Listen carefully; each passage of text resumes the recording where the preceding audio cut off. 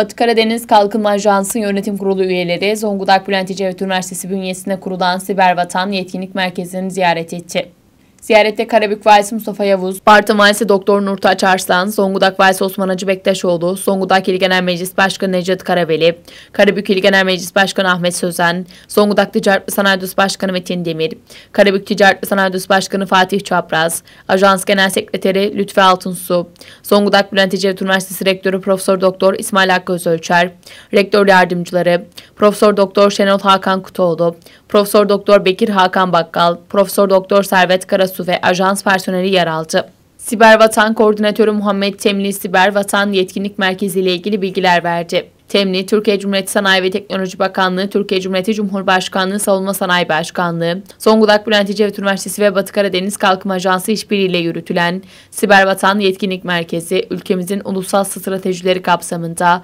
Batı Karadeniz bölgesine ulusal sektör paydaşları ve bölge üniversiteleriyle işbirliği içerisinde üst düzey siber güvenlik uzmanlarının yetiştirilmesini, teknoloji odaklı genç girişim sayısının artırılmasını ve bölgemizde dijital teknolojiler ekosisteminin oluşturulmasını amaçladıklarını ifade etti. Siber Vatan Yetkinlik Merkezi'nde yerel ve ulusal düzeyde yürütülen Siber Vatan programı hakkında bilgi verilirken, özellikle takım çalışmalarında yer alan öğrenciler, Yavuzlar Web Güvenliği ve Yazılımı, Zayotem Zararlı Yazılım Önleme ve Tersine Mühendislik, Redpunk Studios oyun geliştirme, siber tehdit istihbaratı hakkında bilgi verdiler. Projeler ve çalışmalar hakkında bilgi alındıktan sonra öğrencilerle birlikte hatıra fotoğrafı çekildi.